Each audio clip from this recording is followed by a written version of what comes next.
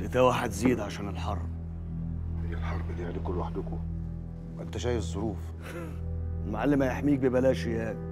هو إيه في إيه؟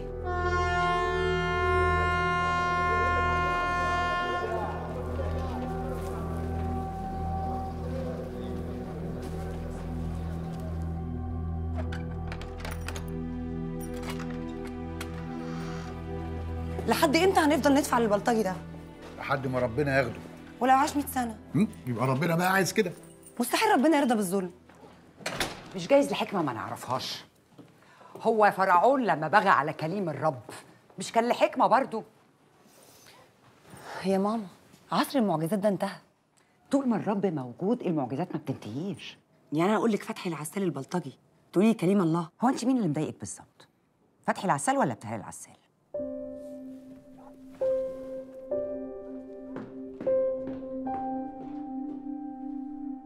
ليه بس كده؟ بقول لك إيه يا هارون؟ العجد اللي زود الموضوع دماغك راحت فين يا راجل؟ عايز تفضحنا في وسط اليهود؟ رايحة تحب واحد مسلم؟ يا ستي دي لعبة عيال. أقول لك بتحب ظابط تقول لي لعب عيال. إيه الحنية دي؟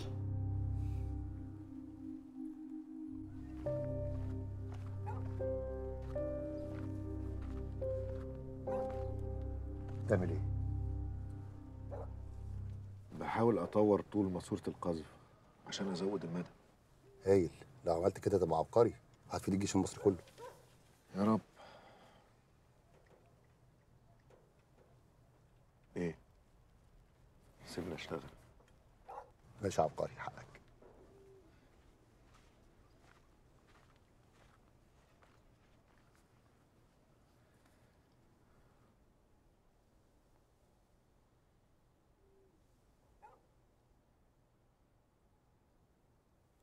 حبيبتي ومعشوقتي وسر بقائي.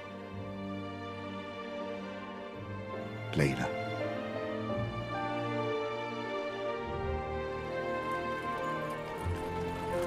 أنت معي أينما ذهبت.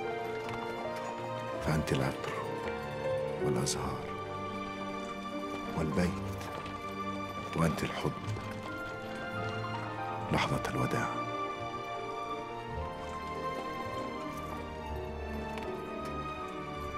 لا أملك في الدنيا إلا عينيك. شاطئ النجاة في الضياع والمرسى والمجداف والشاطئ. إيه يا بنتي الزبون بتاعك بقاله دقيقتين مستنيكي. pardon monsieur كنت في دنيا تانية يا ليلى. الجواب من حبيبي؟ mon fiancé حضرتك تؤمر بإيه؟ آه أنت عارفة طبعا أنا بحب ذوقك قد إيه. ميرسي عاوز شميز وكرافات و parfum avec plaisir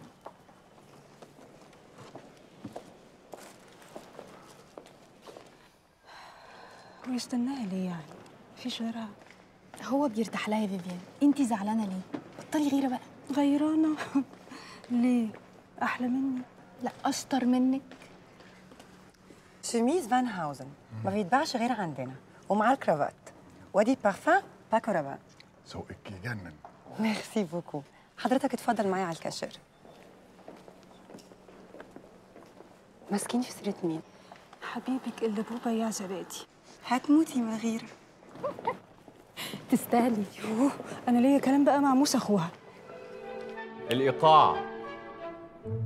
الانسيابية. أنت مش مجرد آلة. أنت شعور ووجدان. لازم الكابل اللي بيرقص ده يبقى بيحب بعضه. الحب ده بيبان في الحركة.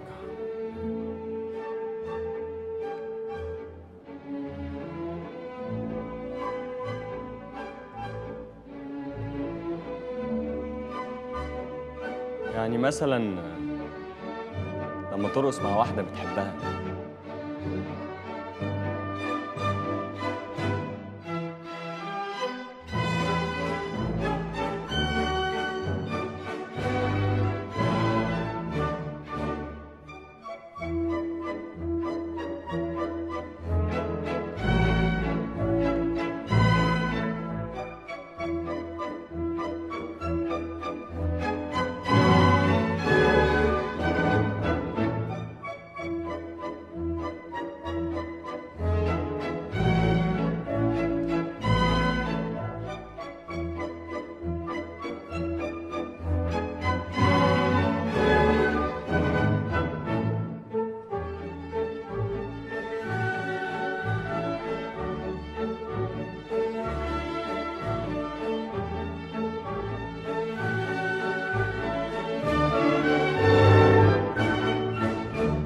اجمل واحدة شفتها في حياتي بترقص فالس صفوة. أختي ليلى. إزيك يا ليلى هاني enchanté ناخد drink في المكتب بقى. راجع لكم. دي فلوس التبرعات اللي أنا جمعتها. أنت معانا يا أنسة ليلى؟ يلا يا ليلى عشان تلحقي تروحي أنت. d'accord. au revoir. أخبار مش تقول يا ابني إن أنت ليك أخت حلوة كده؟ حلوة بس مريضة. مريضة؟ مش باين عليها مريضة. مريضة بحب الوطن يا سيدي. مصر المحروسة. دي تلاقيها فاهم إن إحنا بنلم التبرعات دي للغلابة. بس أنت كنت هتضيعنا. عرفت إن ديفيد هاريل جاي مصر؟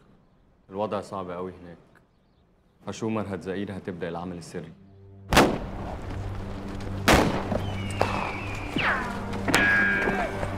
الشباب ابتدى يقلق عايزين يسافروا فلسطين يسافروا إيه وجيش منتصر؟ لا داعي لإزهاق الأرواح. حزب الفتاة سافر منه شباب كتير. شبابنا اشتكى من سخرية الجريدة عليه وعلينا. خلاص نسفر بعضهم بس الباقي لازم يعرفوا كويس جدا إن اليهود هنا زي ما هما في فلسطين بالظبط.